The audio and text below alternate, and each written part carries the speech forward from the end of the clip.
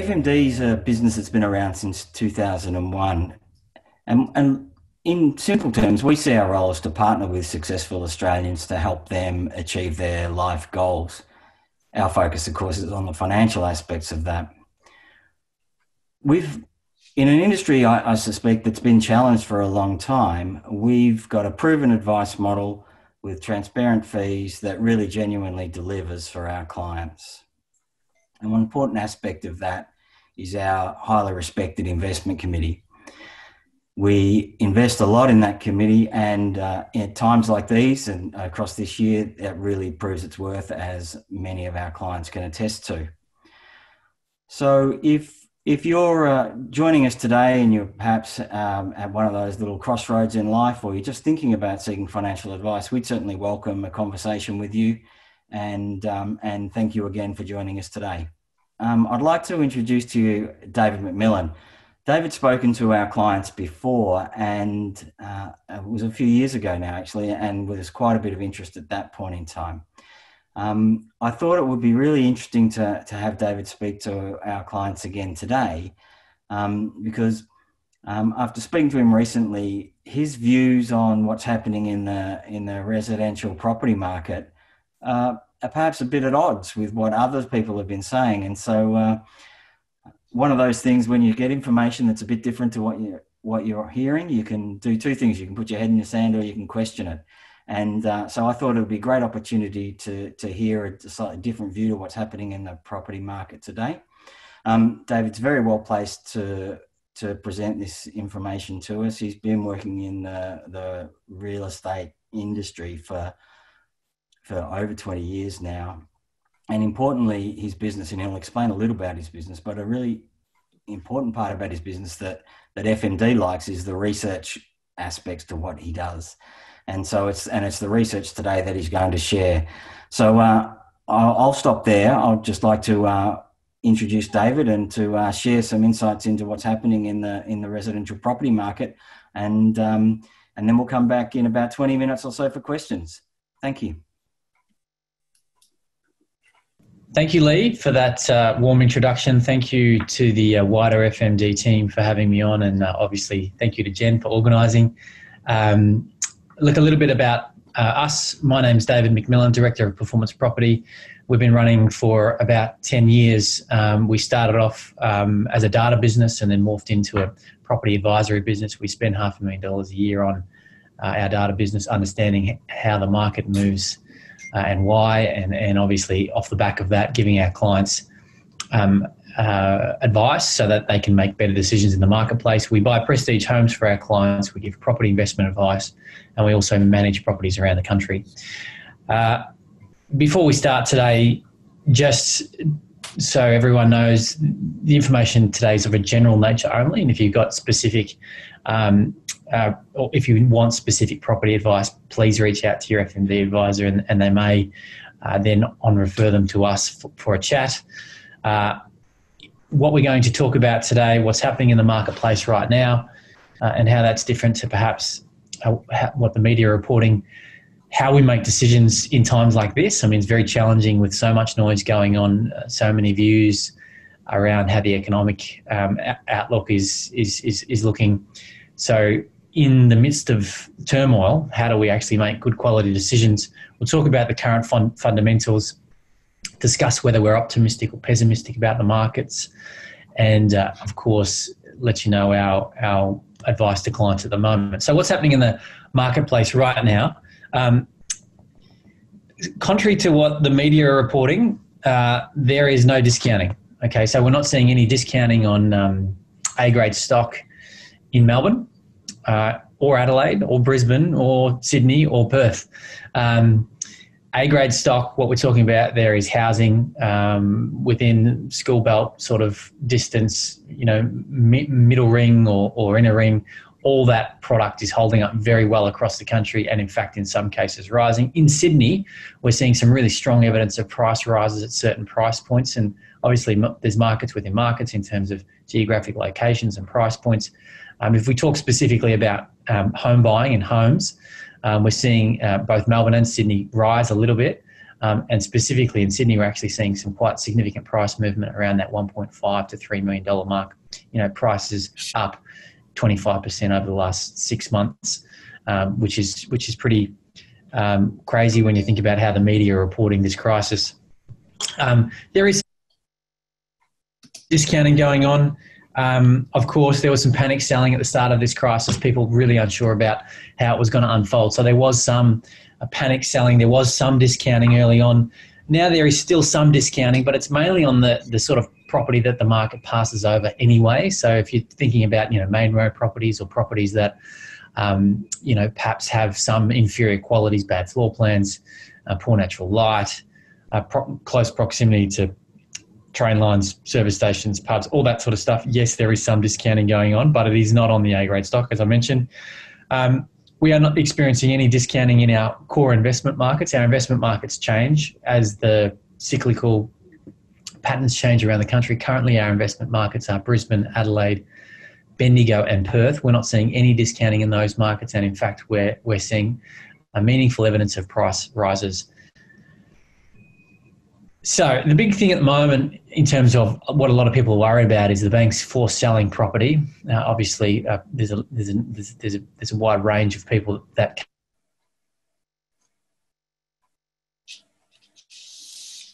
income uh, but the banks are not force selling those properties yet uh, it is it is possible that the banks will force sell um, uh, properties of course but that's not going to happen until at least the middle of next year and possibly into 2022. I've spoken to a number of people within the banks at very senior levels, and they have no intention of throwing everything out into the market in March next year and creating, you know, 10,000 forced sales and crashing the market. They're going to work with people as much as they can to try and get them back on their feet. Um, and, and I don't see any pressure from the banks trying to push these out before the economic restrictions are lifted. So giving people a chance to actually get back on their feet before they force sell them. And I think that's an important point to make in the market that I don't think there's going to be an event where everything's going to come to the market at one time. Right now, we're probably seeing the, the, least mortgagee in possession sales than we've ever seen because, of course, the banks aren't mortgagee in possession sales selling anything at the moment. Uh, for every one property that, that, that, that's on the market, there's one to two properties off market. Our buyer agent network is trading at the moment largely off market properties. That's not just in Melbourne, but it's all over the country.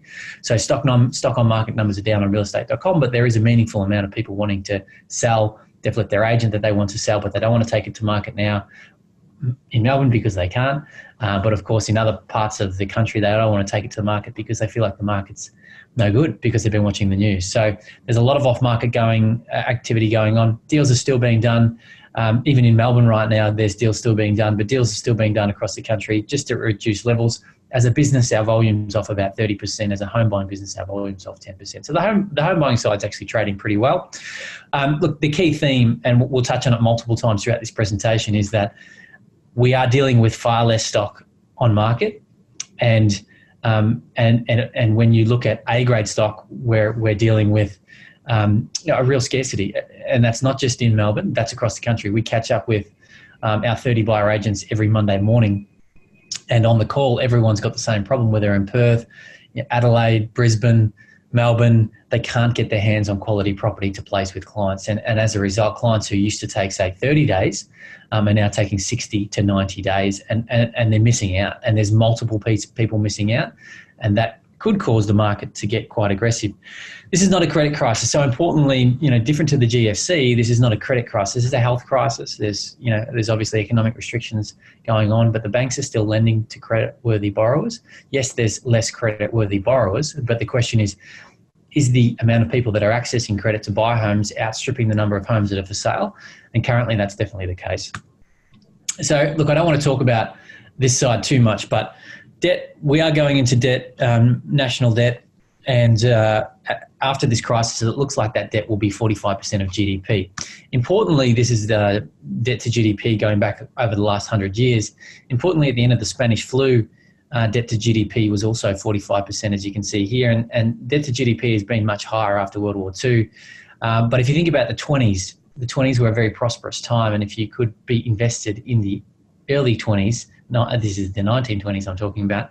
Um, I'm sure a well diversified portfolio would have done really well. Now, of course, the 1930s came, and that's that's a discussion for 10 years away. But um, it is possible that the amount of stimulus, the low interest rates, cause uh, you know the opposite effect of what people are feeling at the moment. So instead of you know asset prices falls, they may actually rise too much, and we may go into some sort of um, or run into some sort of more serious problems down the road. But I think that importantly, anyone that thinks that the market can't grow with with these debt levels, these national debt levels, um, just needs to draw some comparison to the 1920s. Um, and in the 1920s, asset prices did really well. In terms of our forecast, we're assuming the governments are going to behave this way. So if they behave a different way, we reserve the right to obviously review our forecast. But um, we think that, and I've highlighted the, the, way that we think the governments will provide um, uh, stimulus and relief during this period will, will, most likely sound like this. The federal and state governments will pr- provide sufficient relief throughout this crisis and will prioritise growing GDP and getting back to full em- employment before paying back debt. Now, that's, that's key to this forecast because if the government raise taxes next year, uh, that will have a significant uh, detrimental effect on where we think house prices are going to be. Josh Frydenberg has come out and said multiple times, and it's been documented in a lot of places that how you how you how you get out of this crisis is not by increasing taxes. It's it's by growing GDP and and, and stimulating the market. So. Um, that's the the nature of the house price forecast that you're going to see today. And of course, if you're more pessimistic than that, if you don't believe that, well, then then you know, this house price forecast probably won't make sense to you. But this is what we believe is what the governments are going to do. Um, now, in terms of making decisions through a crisis, it's obviously incredibly difficult because there's a lot of unknowns and there's a lot of opinions out there. Um, and there's also a lot of really bad data out there, namely the unemployment rate, the unemployment rate, you know, consumer confidence. All these metrics are, you know, in many cases more volatile than what we've seen before. But I think uh, one thing that we need to remember about property, of course, is that people have to live somewhere. And uh, so if they're not buying, they're renting. They can't disappear, unlike the demand for um, equities, for example. And what we saw in the 1930s, uh, in the Great Depression, uh, we saw that uh, rents actually rose during that period. So even though that um, the you know unemployment got up to 20%, even though that there was mass unemployment, um, one side of this property equation was still working, and that was there was income there for landlords. And I think um, what we need to appreciate is short term, anything can happen in any market, uh, including property, and it is possible that prices do fall. But medium term and and, and all investments should be long term, but medium to long term, property has to move to the fundamentals. People talk about the fundamentals, but I just want to let you know what we believe they are. So, in in in in Australia, we're getting um, a baseline of 140,000 births and strong migration of 200,000. So, people is the demand side of the equation. Obviously, that natural increase is really important. Um, and obviously, at the moment, that 200,000 um, overseas migration is not coming in, but it will come in. They will open up the borders at some point.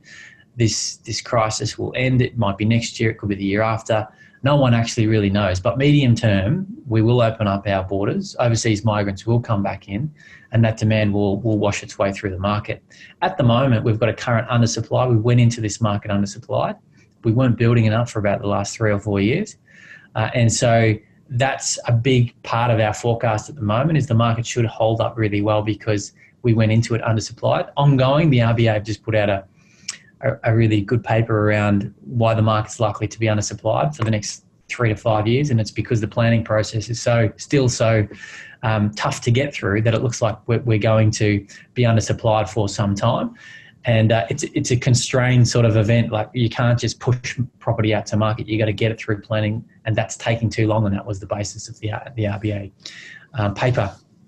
Now um, inflation. So the the RBA are trying to hit their inflation targets, that inflation should go through to wage growth, that should go through to rent growth, and that should be capitalised into the price of real estate. So that's always coming through the market. We've got an organised government. Now, like I know that uh, if you're in Victoria, like I am, you're really questioning this right now. But when I'm talking about organised, organised, I'm talking about comparisons to the 1890s, which was our largest property crash property in Melbourne came off 50%, property in Sydney came off 30%. And I'm talking about the 1930s where property in Melbourne and Sydney both came off uh, around 25%. So by comparison to those property crashes, our government is, is, is, is, is very much um, organised. Uh, they're able to stimulate the market faster. They're able to r- read what's happening in the market in a, in a better setting because they've got obviously access to data real time. And so I think that um, that is a key positive, not just in this crisis, but crises moving forward. Um, and lastly, efficiency gains from technology or infrastructure are historically priced into the value of real estate. So this used to be, you know, a train line going in. Um, you know, property values in that area would, would rise because of better access to the city and better access to other amenities. Um, but of course, what we're seeing uh, today is uh, the the you know the work from home movement, if you like.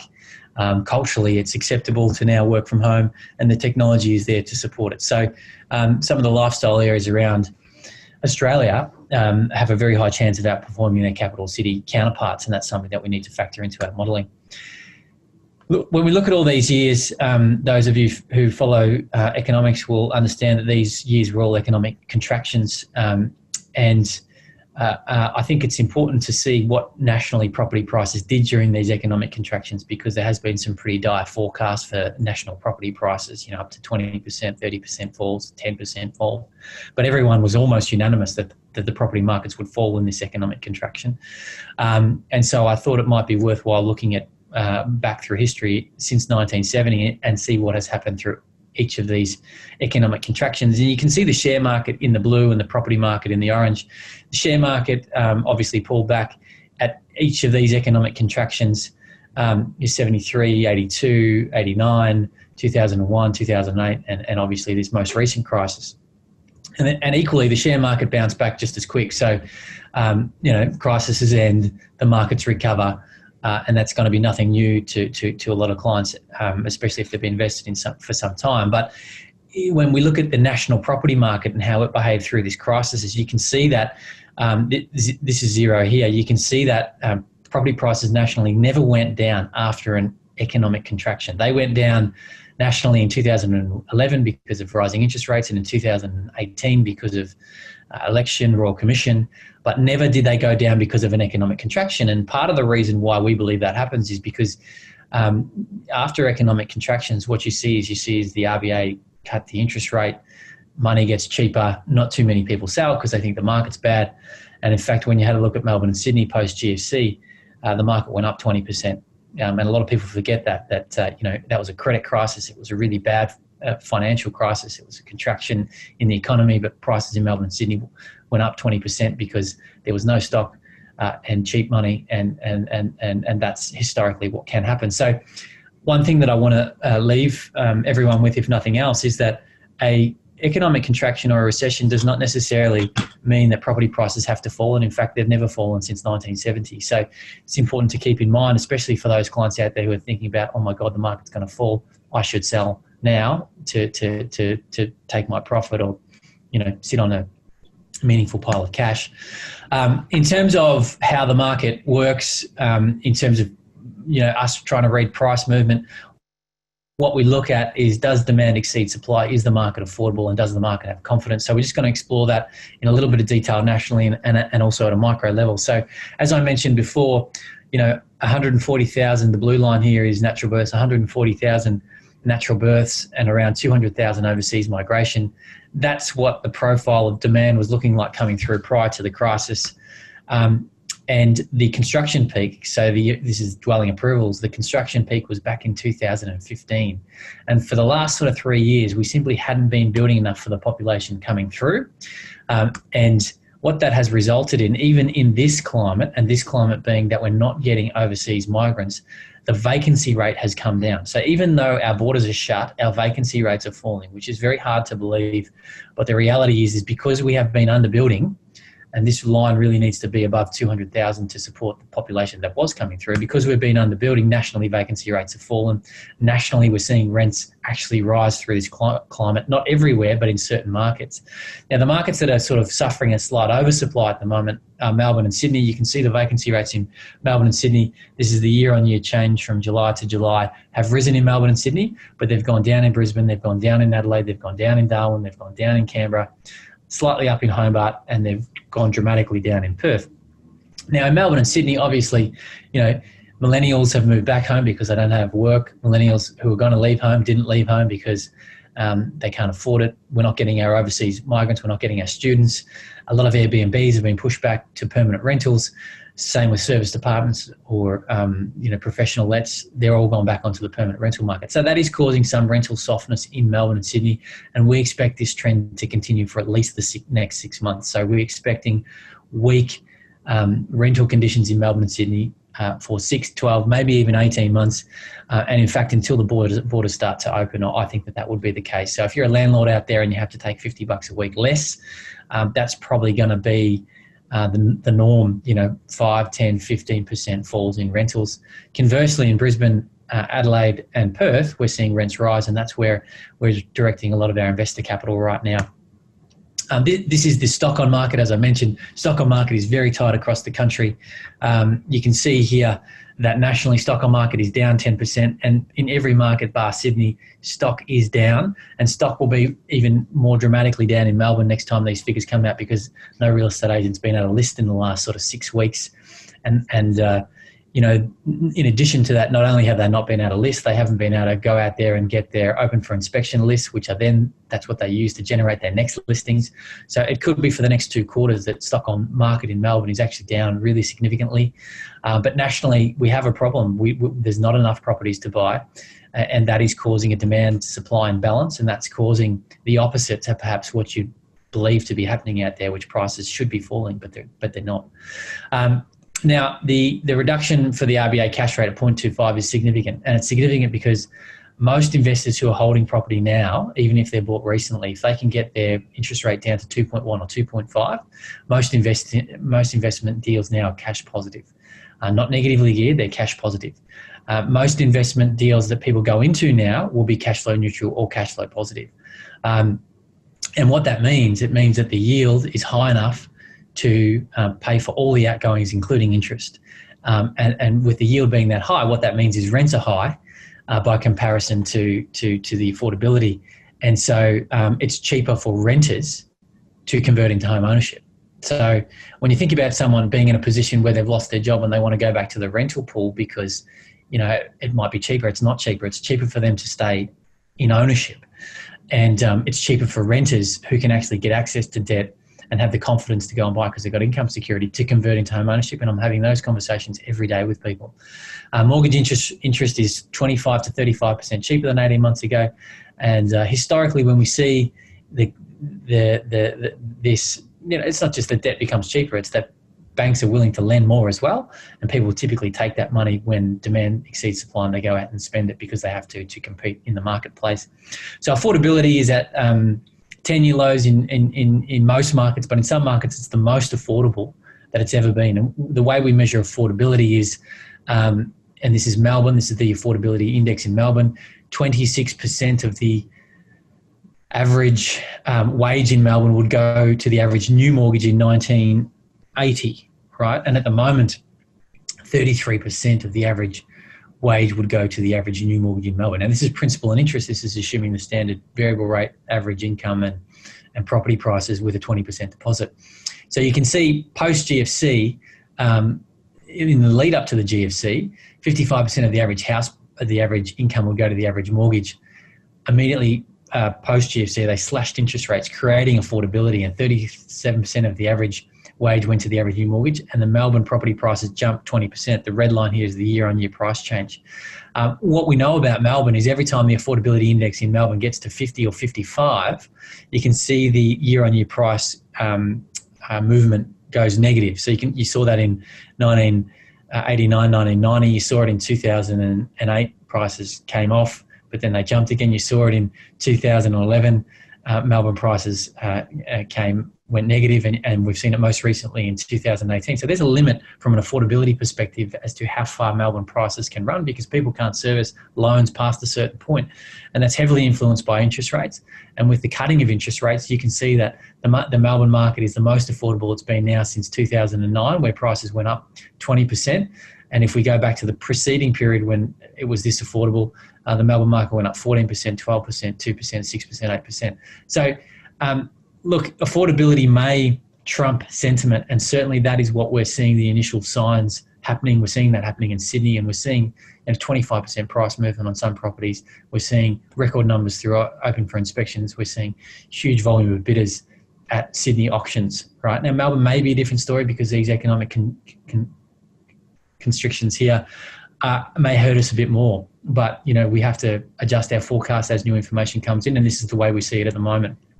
Now, Brisbane, um, equally, Brisbane's the most affordable it's been since 2001. And in 2001, in Brisbane, the market went up 16%, 25%, 33%, 7%, 4%. So it had a huge run when the, when the market historically was this low. We're seeing prices rise in, in Brisbane, not as aggressively as Sydney, but we're seeing prices rise in Brisbane at the moment. Adelaide, Adelaide's the most affordable it's been since 2002. And, and in 2002, the Adelaide market went up 18% the year after 22%, the year after 21%. So you can see when affordability gets this low, when there's enough confidence or when there, when demand exceeds supply, the market can run, it can run aggressively. And that's the way we're reading the market at the moment. We're not reading the market like we're on the cusp of a cliff. We're reading it like the conditions that are that are in front of us look like that there's a stronger, much stronger probability of price rises, and they could be quite aggressive. Uh, Perth, Perth is the most affordable it's been since um, 1988, believe it or not. And in 1988, in Perth, house prices doubled. And yes, I've checked that stat multiple times. House prices doubled in one year, and Perth hasn't really grown in 12 years. And if you, if you're watching the commodity price cycle, it looks like this could be, you know, the, the next um, market that grows really strongly. Uh, and we're certainly positioning a lot of investor capital into Perth. Sorry, I'm just checking the time because I know I'm going over. I told Lee I'd stick to 20 minutes. Um, so I'm just wrapping up now. Confidence is hurting. Before the crisis, it was strong. During the crisis, it was extremely low. We are now starting to get better, with the exception of Melbourne. But there's no question that confidence is, is, is a negative. You can see from the summary, demand does exceed supply, so that's slightly positive. The market is massively affordable, but we have confidence issues. And it's just a matter of how much these confidence issues play through the market at the moment and, and, and, and how the, the government manages to stimulate the market and, and get this under unemployment rate under control. We see that um, there is a 60% chance of prices rising in Melbourne. Um, and we see that there's a 70% chance of price rise in Sydney. We're already seeing that now we see an 85% uh, chance of price rises in all these other markets. Um, this should be 60 40, not 60 30. There is a chance that prices in Melbourne and Sydney fall, because of things that we can't see. So we're not blind to that. We think if they do fall, prices in Melbourne and Sydney could fall up to 20, 25% because of where they are. And when they rise, we also think that there is a limit to how much they can rise because of where their affordability maximums will kick in. But as you can see in Brisbane, Adelaide, Bendigo, Perth, we see limited chance of um, downside. We see not that much downside if it does happen, and we see a, a lot of upside.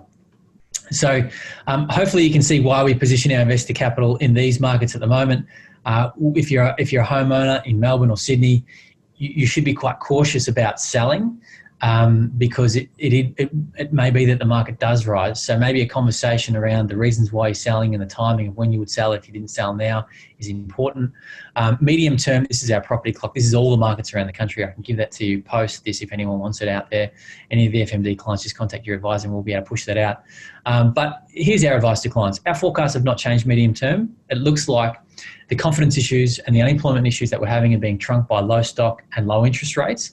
Uh, there's been no change to our clients other than to increase their cash buffers, those that are building portfolios. Our, our recommendation to clients is to continue on with their long term strategies as normal and not to hold back on buying because it may be that they're chasing the market up. It may be that the market does soften a little bit in certain places. But if it's a long term strategy, they will be evened out over time.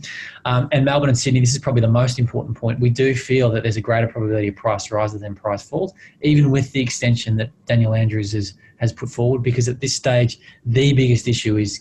Um, buyers actually being able to find something, and and and combine that with low interest rates, and you've got a recipe for a for for a price run, not a price Four. We'll take questions now. Uh, thank you for, for, for listening.